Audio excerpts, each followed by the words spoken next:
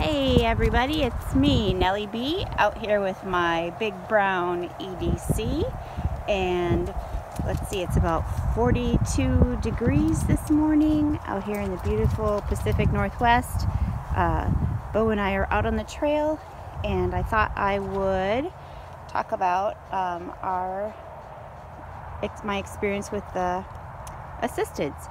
So last weekend, JB and I did another little test to see how um, I liked the assisted type knives and we came up with two.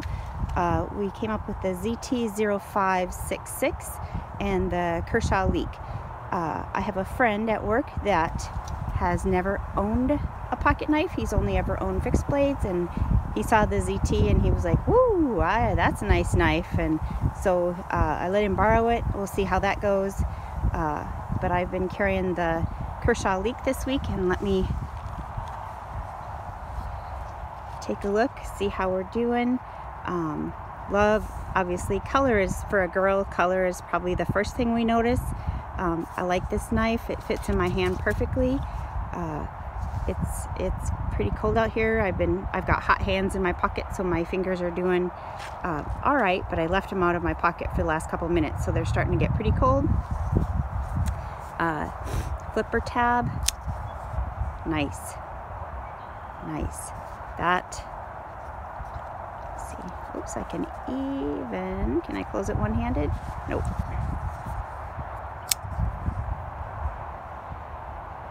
So I, I agree with Jody's uh, comment in from our video is why did we why didn't we start with the flippers or the assisteds? Uh, that one is is much easier for me to open, uh, but I do appreciate everything that I learned from working through the other knives, and I still have my favorites in the other knives, but I think the flippers for me, the assisted flipper for me is going to be the way to go. So uh, from Nellie B and my big red EDC Bo, who's getting ready to get back on the trail. Have a great day, guys. Bye.